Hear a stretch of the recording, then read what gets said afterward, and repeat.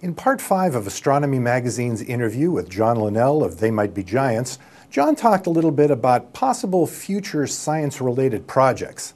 Of course, everyone here at Astronomy Magazine hopes we'll get the chance to work with the group again. I think Here Comes Science is going to be a huge hit for you. You think there are any other science or astronomy related? Well, I've said. I mean, I, I said this to David Agnew, who was the executive. He's our man at Disney, who has pretty much kept us under his wing for this whole time. You know, represented us for the company, which has ensured that we don't have to fight very hard to just do our own thing. You know, we farm out the music for our uh, for the animations ourselves, so we really get to produce this package on our own. And, and I think he felt strongly that that we shouldn't get any inter- interference from Disney. So he's been our protector in that way.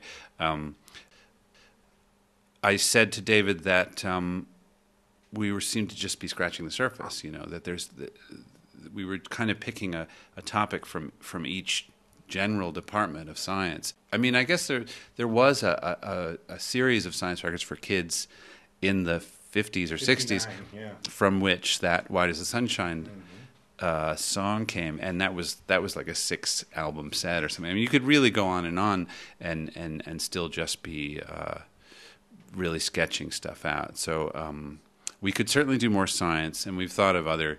You know, kind of general topics that'd be fun to to approach that are non-science, but uh, we haven't figured out what we're going to do next. Actually, Excellent.